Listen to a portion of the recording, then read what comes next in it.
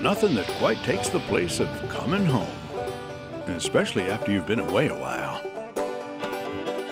Once you wrestle your bags from the airlines and hit the street, there's really nothing between you and that dream you've been whittling on for all these years.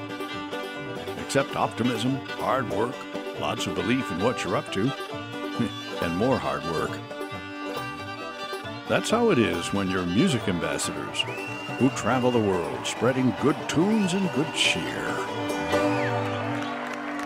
Old time style.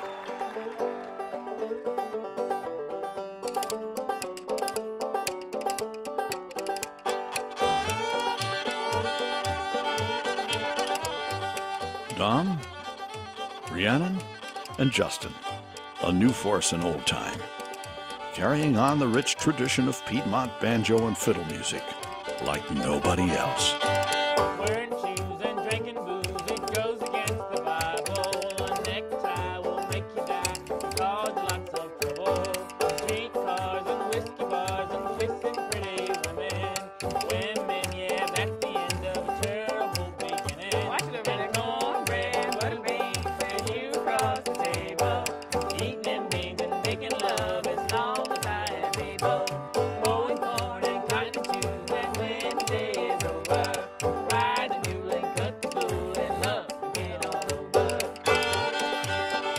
The Chocolate Drops not only abound with good tunes and good times, but the three young black performers also bust a few lingering stereotypes along the way. This music, they say, is universal. And who's to argue with that? Don't get trouble in your mind. Once people sit down and listen, you know, people really enjoy the music. Don't get trouble in your mind.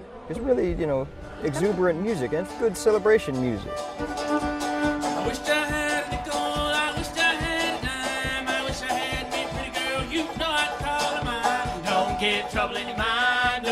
Get trouble in your mind. Don't get trouble in your mind. Don't get trouble in your mind. That's it.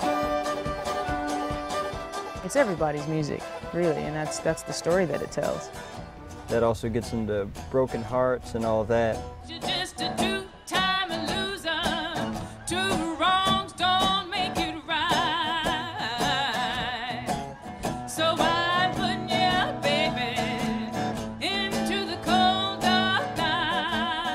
Depths of the blues to just plain fun.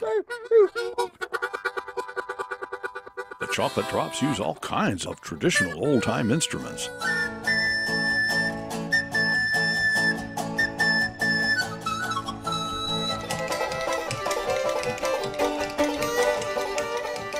Front and center, nearly always in the Piedmont brand of old time, is the banjo, which originally hailed from Africa. Ask a black person about the banjo, like, we don't play the banjo. It is so pervasive, the image. When they hear a banjo, they think inbred hillbilly in a mountain somewhere. And that has become such a popular image that it, it's taken a long time. It's now starting to change.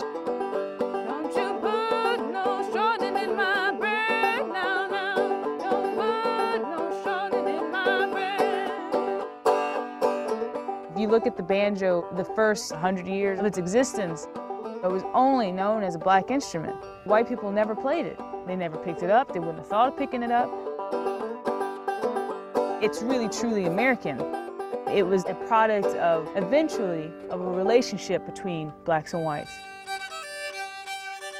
One critical relationship in the development of the Chocolate Drops was Joe Thompson from Mebane, a well known black old time musician, and their mentor, whom the Drops visited regularly for guidance and inspiration, long before they even were the Drops.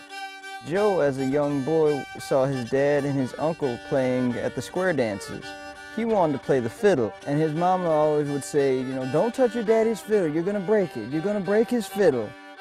When Joe finally got a fiddle of his own, it only had two strings. His brother's like, you know, Daddy ain't gonna get you no strings. he he always says it like, that, just like that. He ain't gonna get you no strings. So Joe used his imagination and a couple of odd strings from the family screen door, and finally he was on his way. Today he's a living connection to a past that has pushed the Chocolate Drops and their old time music well into the future.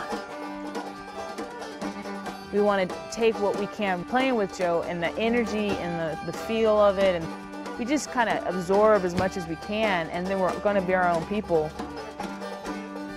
Some people see them as preservationists of a musical style that had all but died out 50 years ago.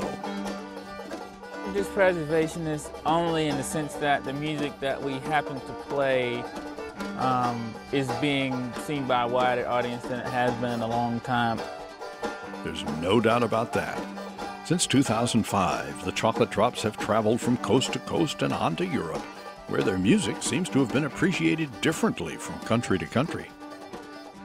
The French audience is slightly different from the English audience, which is slightly different from the Irish audience, and it's just been really fascinating. We've heard audiences all over now sing Hi Ho Fiddle Day, you know, and they sing them in different accents, but they do it.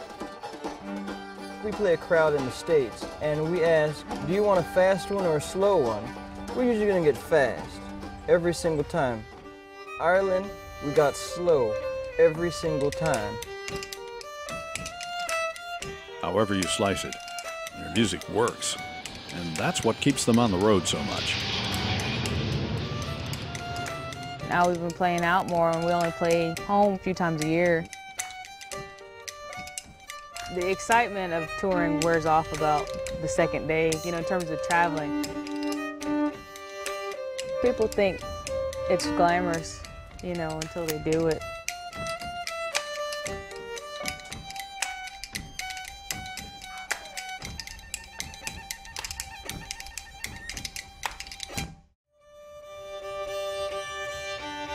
Oh, It's always nice to play home. All right now. Backstage. The real homecoming for us is the is the Shakori Hills Festival. That was really one of the places that we got started. Hello, folks. Good to see you again. Haven't seen you all in such a long time. It's so good to be back. It's long, long overdue.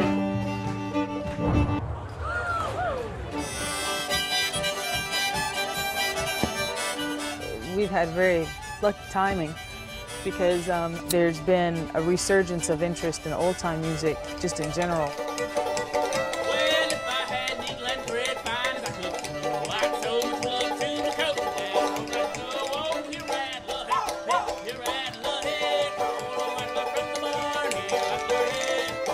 We started off never thinking about let's go conquer the world, like let's let's go play big halls and stuff, we started out going down to see Joe, and so everything else has been a cherry on top.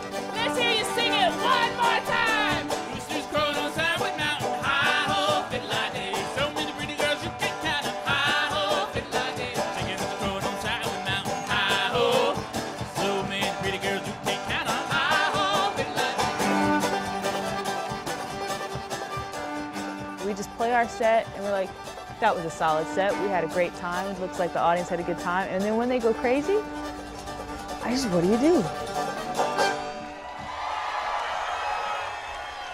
We just kind of throw up our hands and go, thank you. Thank you so much. Thanks again.